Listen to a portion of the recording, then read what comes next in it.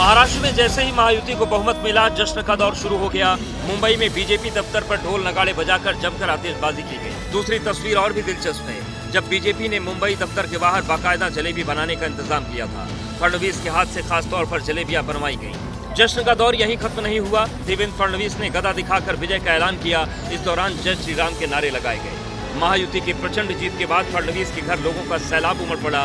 फडणवीस को बाहों में उठा लिया गया। पंकजा मुंडे जो कल तक फडणवीस के खिलाफ बताई जा रही थी, वो भी बधाई देने पहुँची। महायुति और देवेंद्र फडणवीस की जीत पर उनकी पत्नी और माँ ने भी बधाई दी। देवेंद्र फडणवीस की माँ सरिता ने तो दावा भी कर दिया कि उनका बेटा ही सीएम बनेगा। आज का दिन तो महत्वपूर्ण है ही। एक माँ के लिए इतना बड़ा अपना लड़का है, इतना पूरे महाराष्ट्र का नेता बन गया। बहुत ही उम्दा जीत है ये और बहुत खुशी है कि इतनी मेहनत की गई। तो आपने देखा होगा परसेंटेज बहनों का भी जो वोटिंग का है, वो बहुत बड़ा हुआ है और